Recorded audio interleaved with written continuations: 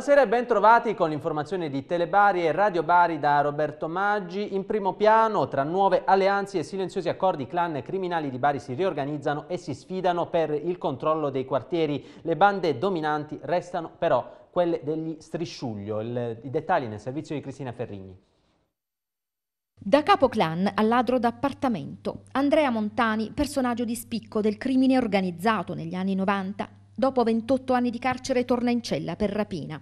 E lui, l'uomo arrestato in flagrante dalla polizia a Ferragosto dopo aver svaligiato un appartamento a Carbonara. Un gesto che, stando al racconto fornito da lui stesso agli inquirenti, sarebbe stato costretto a fare per sfamare la famiglia. Non certo una nota di merito nella logica criminale per il clan Montani, un tempo temuto nel quartiere San Paolo, oggi sotto il dominio del clan Strisciuglio che tiene sotto stretto controllo altri sei quartieri, Libertà, San Girolamo, dove lo russo sono emarginati, Enziteto, Barivecchia e Carbonara. Obiettivo anche il Madonnella, territorio conteso con il clan Parisi Palermiti di Iapigia, soprattutto dopo l'agguato e fratelli Rafaschieri. Indeboliti anche i clan Mercante Diomede a Carrassi San Pasquale, dove, come dimostra l'ultima indagine della DDA di Bari condotta dai carabinieri, si era riorganizzato il silente clan Velluto che aveva messo in piedi un impero economico per il traffico di droga con l'Albania. Nuove tracce della presenza dei Parisi palermiti, secondo gli investigatori della DIA, sarebbero state trovate ad Altamura, a riprova della tendenza dei clan ad espandersi sul territorio extraurbano, dove possono contare su gruppi criminali autoctoni disposti a stringere alleanze operative. E cambiamo completamente argomento, il percorso per non vedenti di Corso Vittorio Emanuele a Bari, il centro della polemica tra il consigliere comunale di Fratelli d'Italia Filippo Melchiorre e l'assessore comunale ai lavori pubblici Giuseppe Galasso. I dettagli nel servizio di Serena Russo.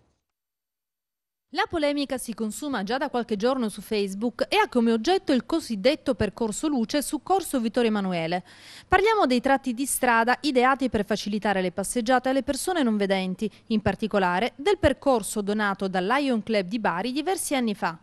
Inizialmente realizzato su tutta la lunghezza del marciapiedi, sull'isolato che ospita il comune di Bari è attualmente presente solo sugli incroci perché eliminato nella parte centrale in seguito ai lavori di rifacimento del marciapiedi che ha consentito alcuni collegamenti tecnologici con Palazzo di Città. Da qui la polemica. Noi questa mattina ci siamo fatti un giro su una delle principali vie cittadine con il consigliere comunale di Fratelli d'Italia, Filippo Melchiorre. A me pare che diciamo, il dono che i Lions nel 2011 eh, fecero all'amministrazione comunale sia stato di fatto diciamo, rovinato eh, perché eh, diciamo, percorrendo eh, Corso Vittorio Emanuele e tutte le strade limitrofi eh, si, si, riscontrano delle anomalie, nel senso ci sono due percorsi della luce, uno in non continuità con l'altro, vi sono dei marciapiedi dove il percorso della luce è su tutto la careggiata mentre in altri è solamente all'altezza degli incroci, eh, non vi è il collegamento del percorso della luce al muro per consentire dire, al non vedente di potersi orientare perché diciamo, un non vedente eh, quando finisce il percorso della luce è come se eh, si buttasse un, uno che non è in grado di poter nuotare in un oceano, quindi non sa diciamo, che, cosa, diciamo, che cosa fare. Schizofrenia quindi nell'eliminazione del percorso su alcuni punti e il mantenimento su altri, troppa lontananza dalle zigrinature dei muri adiacenti che costituiscono il cosiddetto percorso naturale quindi, sono i punti essenziali della critica mossa dal consigliere percorso luce originariamente fatto anni fa è stato valorizzato dalle nuove esecuzioni fatte sia su Via Sparano sia su Corso Vittorio Emanuele, ovviamente con un'attenzione anche alle esigenze sopravvenute rappresentate dalle associazioni di categoria. È molto importante precisare che la chiusura dell'OGES sul muro, così come si può riscontrare anche vedendo tantissime immagini di ehm, persone non vedenti che si muovono disponibili in rete, non necessita di essere molto attaccato allo stesso prospetto, ma può stare tranquillamente a una piccola distanza, anche perché il bastone che utilizzano i non vedenti ha una lunghezza variabile tra 105 e 120 centimetri e quindi questo permette un arco di di osservazione del percorso avanti che è significativo, può arrivare anche a 1,20 m o 1,50 m rispetto all'asse di percorrenza. E potranno essere finalmente realizzati i lavori di sostituzione delle caldaie e dei radiatori obsoleti e non più funzionanti di tutti gli alloggi ERP di proprietà del Comune di Bari al quartiere San Pio, insieme ai lavori di adeguamento degli impianti ascensori. La Regione Puglia ha infatti comunicato che ormai è imminente il decreto del Ministero delle Infrastrutture e dei Trasporti che prevederà eh, con la ripartizione delle prossime annualità dell'importo di 61 milioni di euro assegnato alla Regione Puglia nell'ambito del programma di recupero e razionalizzazione degli immobili e degli alloggi di ERP di proprietà dei comuni e degli istituti autonomi, che così consentirà di finanziare nel 2019 i due progetti presentati dal Comune di Bari. Cambiamo argomento, profumi e colori dal mondo a Parco 2 Giugno, inaugurato Gnam, il festival del cibo di strada che farà venire l'acquolina in bocca per tutto il weekend. Un festival della gastronomia, ancora una volta qui a Parco 2 Giugno. Beh, ancora una volta il festival che sceglie Bari, quindi una piazza che risponde al tipo di gastronomia, quindi non solo pugliese, ma una gastronomia che richiama tutto, tutta la nazione, tutta l'Italia e non, perché insomma, abbiamo da degustare anche piatti spagnoli, argentini, quindi il food oltre quella che è la Puglia, l'Italia, quindi diciamo, un food internazionale. L'assessore Palone cosa consiglia? Beh, io mangio quasi tutto, direi mangio tutto, quindi consiglio sicuramente di farsi dal primo stand all'ultimo e, e bere anche una buona birra. E il presidente di questo municipio invece che cosa consiglia? Io consiglio un buon cibo messicano. Diciamo, hanno scelto, diceva bene l'assessore, Bari è una città che si dimostra sempre ospitale, sono tornati ancora una volta con questo festival internazionale, i baresi si riscoprono anche un po' internazionali in questo posto, quindi la carne argentina e la carne messicana è un ottimo consiglio e ci ha certamente stimolato l'appetito vedere queste immagini. Cambiamo per argomento Neomamme a confronto nell'Ipercop di Iapigia per la settimana mondiale dell'allattamento che si conclude, eh, si conclude domani. Obiettivo dell'iniziativa realizzata in collaborazione con l'ASL di Bari è informare sulla relazione fra allattamento e alimentazione. Diverse le attività della giornata, tra cui un laboratorio interattivo di danza e belly painting, l'arte di dipingere il pancione con i colori dell'attesa.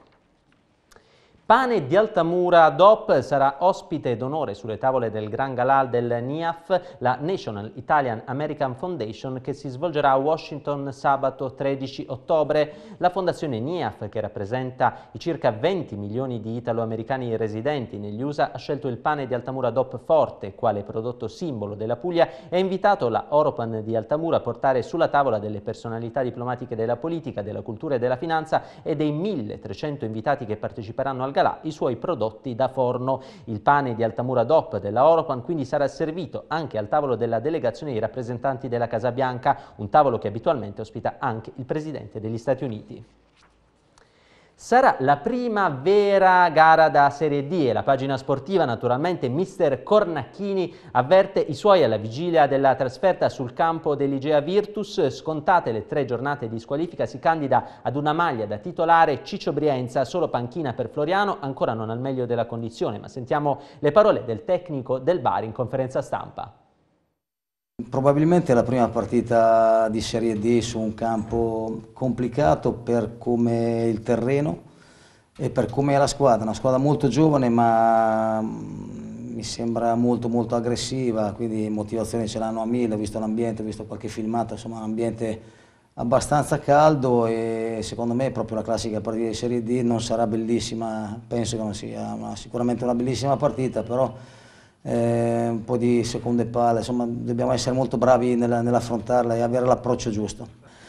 Se tu ti alleni sempre benissimo e hai giocatori di qualità, secondo me alla fine, alla fine diventa la normalità quella di vincere, eh, cosa che, che, che, parecchi, insomma non devi mai mollare la presa, io sono, penso che la cosa giusta sia quella di non, di non mollare mai la presa, quindi devi essere anche abbastanza martello nel ripetere sempre le stesse cose. Io dico per me è un'occasione importante, a prescindere che poi mi tengano o non mi tengano il prossimo anno, quella è una cosa che non mi interessa perché guardo molto al presente. E, e quindi però la cosa piacevole è quella che io non vedo l'ora di arrivare al campo perché, perché devi pensare esclusivamente ad allenare, quindi per me è tanta roba. Vorrei che nella loro testa ci fosse questo pensiero, quello stesso pensiero, ma che deve essere così perché è un'occasione per tutti enorme. E proseguiamo con lo sport. L'Oxen, il Centro Sportivo Educativo Nazionale, celebra i suoi atleti con la ventiduesima edizione del premio a loro dedicato. Abbiamo incontrato il presidente nazionale. Lo sport può salvare la vita, soprattutto ai più giovani, soprattutto a chi crede di non avere possibilità. Lo sport insegna la disciplina nelle palestre, nelle sale, nei palazzetti, a Bari, anche nelle parrocchie, come quella di San Sabino al quartiere Madonnella, che dopo aver dedicato un corso di teatro ai più piccoli, da quest'anno ha deciso di aprire un corso di judo per tutte le età.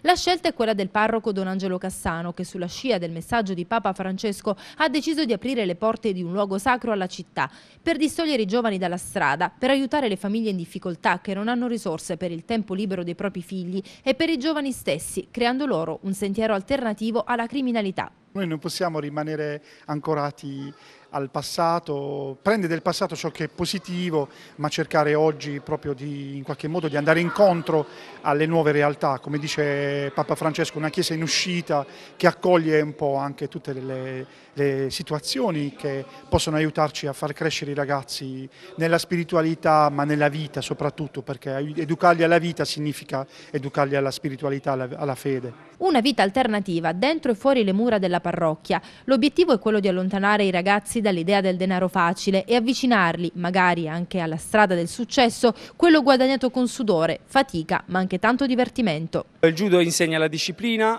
l'educazione e il rispetto. Sono la base fondamentale che questo sport insegna. In più il judo insegna anche a socializzare, eh, aiuta mm, a trovare anche l'equilibrio, coordinazione con esercizi di, di attività motoria. Ed è tutto pronto a Terlizzi per il suggestivo evento della sfilata della Madonna del Rosario, la festa dopo la novena iniziata il 24 settembre con la recita del Rosario comincia oggi e prosegue domani. Lunedì poi l'attesissima processione della Beata Vergine del Rosario sul maestoso carro floreale dal nome Mater Lucis, progettato a devozione dell'architetto Floriano Urbano. Ho lavorato al carro per il terzo anno di fila ma sono sempre molto emozionata, spiega l'architetto. Eh, il richiamo alla corona del Rosario della Vergine è stato nella fase di studio studio e progettazione il potente mezzo che con la voce, il pensiero, la supplica e la devozione ci riconduce e ci riannoda a Dio. Ed era l'ultima notizia del nostro telegiornale, l'informazione di Telebari però prosegue sui nostri canali social, sul nostro sito www.telebari.it. Prima di salutarvi però il meteo.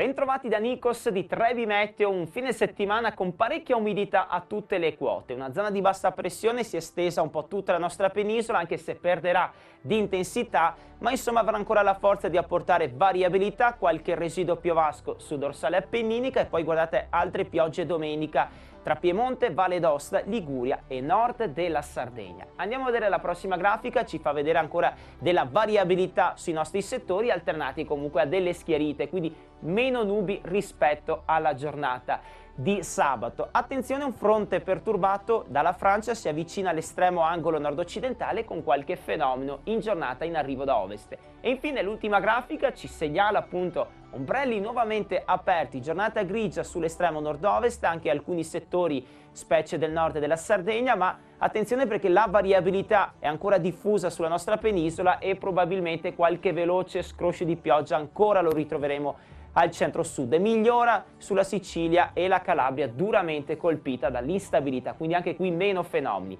Dettagli, approfondimenti sull'app gratuita di Trevi Meteo.